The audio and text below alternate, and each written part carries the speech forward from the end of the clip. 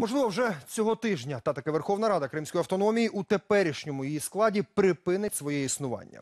Український парламент розглядатиме питання після на папері викладеної думки суддів Конституційного суду України. Натомість сьогодні народні депутати України вже звернулися до кримських колег із пропозицією скасувати запланований на 16 березня референдум про статус півострова. Чи є надія, що підлеглі Константинова дослухаються, розмірковувала аналізуючи обставини Ірина Павлинок. Піти в Росію кримські депутати пропонують одразу після референдуму. Верховна Рада вимагає його скасувати, а кримців закликають референдум бойкотувати.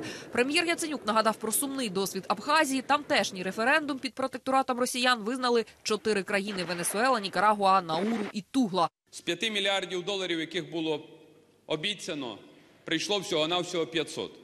У людей нема ні зарплат, ні роботи, ні безпеки. Я вже не кажу про те, що там забули, як відпочиваючі виглядають. Зате там є бандформування, там проходить торгівля зброєю, наркотиками. Такої долі хочуть зелені чоловічки, які зараз їздять у загальному складі 18 тисяч людей по території Крима. Крим не заслуговує такої долі. Депутати вже вдруге звернулися до країн гарантів незалежності України з вимогою захисту суверенітету, але вперше були вжиті слова військова підтримка. Її разом із політичною та дипломатичною Київ очікує від США та Британії. Від росіян вимагає вивести війська. Виконувач обов'язків міністра оборони назвав стратегічною помилкою, що Росію ніколи не розглядали як потенційного нападника. Ігор Тенюх розповів про злидні збройних сил і навіть звернувся по допомогу до найбагатших українців. Якщо їхня національна гідність і їхні національні почуття відкриті, вони можуть ці гроші віддати для збройних сил, для того, щоб вони змогли озброїтись, і для того, щоб вони могли привести техніку, яку можна буде використовувати і потрібно використовувати в тих чи інших напрямках. Завдання для українських військових у Криму триматися. Турчинов пояснює те, що багатьом здається бездіяльністю, насправді вимушена тактика.